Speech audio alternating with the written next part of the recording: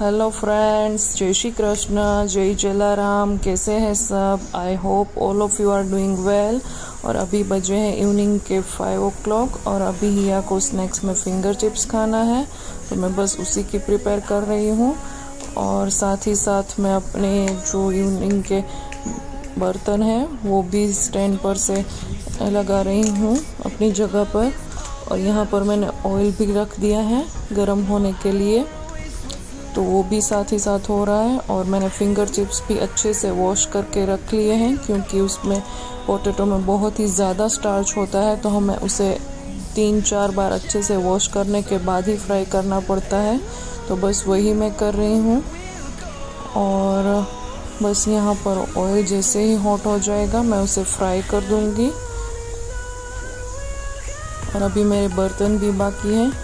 क्योंकि हिया और मैं नाश्ता करने के बाद ही मैं मोस्टली उसके बाद ही मैं बर्तन और कपड़े का काम करती हूँ। तो बस यहाँ पर ऑयल हॉट हो चुका है। तो मैंने स्टार्ट कर दिया है। और देखिए, बन रही है हमारी फिंगर चिप्स हिया को बहुत ही ज़्यादा पसंद है और यहाँ पर आप देख सकते हैं कि कितनी ज़्यादा शरारतें चल रही हैं। पूरे दिन में ये लड़की 10 से 12 बार ये फ्रीज़ और फ्रीज़र खोलती रहती है। कितना भी बोलो, कोई असर ही नहीं है इस पर। पता नहीं क्या करती है पूरा दिन। कभी फ्रीज खोलती है तो कभी फ्रीज़र खोलती है।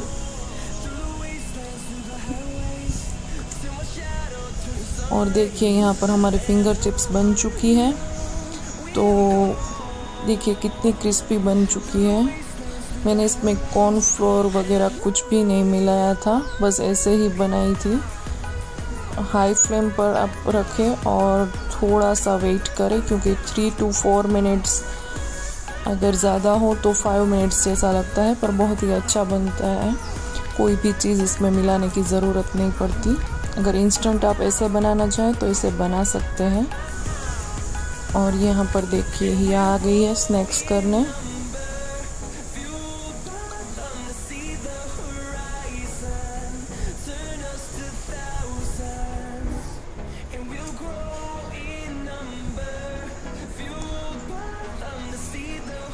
और मैंने भी अपने लिए वाटरमेलन कट किया था। मुझे ये सब अभी नहीं खाना था ऑयल वाला।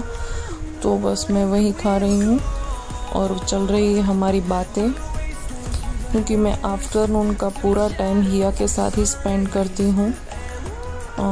छः बजे तक और छः बजे के बाद ही वो खेलने जाती है तो ढाई से फाइव सिक्स ओ क्लॉक हम दोनों माँ बेटी साथ ही होते हैं और साथ ही टाइम स्पेंड करते हैं।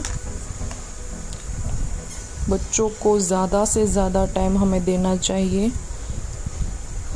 क्योंकि इस भाग दौड़ी ज़िंदगी में ये तो ज़रूरी ही हो गया है। और अभी फ्रेंड्स डिनर की प्रिपेयर के लिए मैं आ चुकी हूँ तो आज मेरी थोड़ी सी तबीयत शाम शाम के बाद थोड़ी सा मेरा सर भारी हो गया। हो गया था तो मैं सिर्फ़ बिरयानी प्रिपेयर कर रही हूँ हम सब के लिए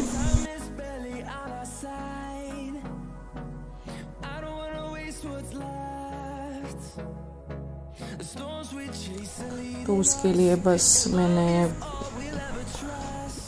जो लाल मिर्च सूखी होती है, वो तड़के के लिए मैंने निकाल दी है। और ये अभी यही पूछने आई है कि मम्मा क्या बना रहे हो? और आज मेरी थोड़ी सी तबीयत ठीक नहीं है, इसलिए वो मुझे थोड़ी बहुत हेल्प भी करवा रही है। और मैंने बिरयानी के लिए ऑयल चढ़ा दिया है। तो थ्री टेबल स्पून ऑयल लिया है और उसमें सूखी मिर्च का तड़का पहले लगेगा और फिर अदरक और हरी मिर्च मैंने डाली है। और फिर सारे वेजिटेबल्स कैरट है ऑनियन मटर और कैबेज और ये आपको थोड़े से पोटैटो भी वाली ही बिरयानी पसंद है, इसलिए एक छोटा सा मैंने पोटैटो भी डाला है। और उसका चौंक डाल देंगे।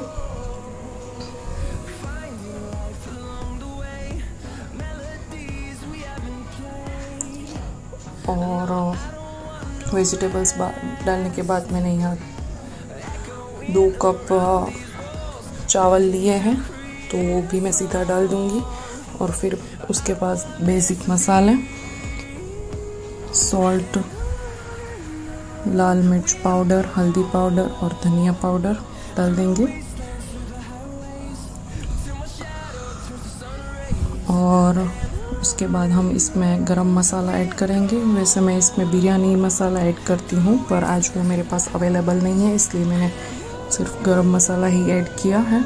और इसके बाद हम इसमें ढाई कप पानी मिला देंगे, दो कप राइस के, राइस का मेज़र का और आधा कप वेजिटेबल्स का इस हिसाब से मैं ढाई कप डालूँगी। इससे बहुत ही ज़्यादा अच्छी बनेगी। और फिर इसे अच्छे से मिक्स कर देंगे। देख सकते हैं आप। फिर हम तीन विसल आने तक चला देंगे। क्योंकि मैंने चावल को बिल्कुल भी नहीं भिगोया था, इसलिए तीन विसल तो चाहिए ही चाहिए। और फिर यहाँ पर मैं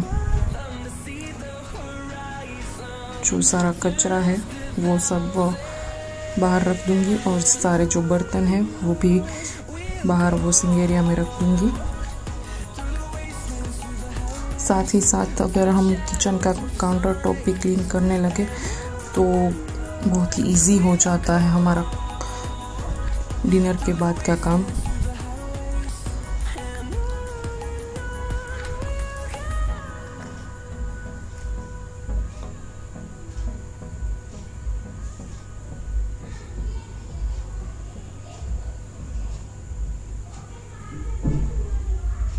और यहाँ पर मैं सैलड के लिए ऑनियन कट कर रही हूँ, क्योंकि बिरयानी के साथ सिर्फ़ ऑनियन और पापड़ ही सब खाएँगे।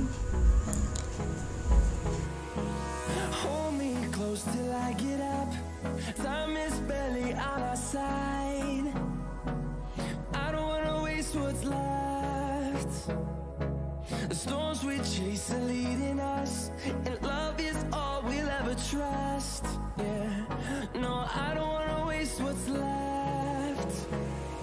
And on we'll go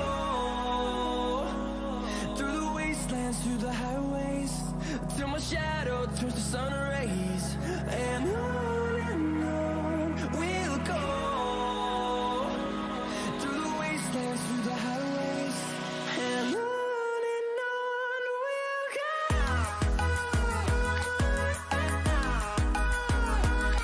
और देखिए, यहाँ पर हमारी बिरयानी बन चुकी है। सिर्फ़ अभी अभी मैंने कुकर खोला ही है। बहुत ही अच्छी बनी है।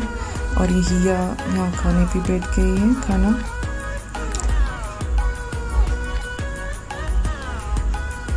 बहुत अच्छी बनी थी बिरयानी। बहुत ही टेस्टी बनी थी और थोड़ी स्पाइसी भी मैंने बनाई थी। तो यहाँ फ्रेंड्स हमारा सारा काम हो चुका है और अभी हम लोग समर हैं तो बालकनी में बैठे हैं क्योंकि हमारे यहाँ कर्फ्यू लग चुका है रात नौ बजे के बाद का तो इसलिए हम आज कोई बार चक्कर लगाने नहीं गए, वरना हम रोज़ जाते थे। तो आज बस समर था तो हम लोग बस ऐसे बालकनी में बैठे थे और फैमिली टाइम स्पेंड कर रहे थे। Okay friends thank you and bye bye and don't forget to subscribe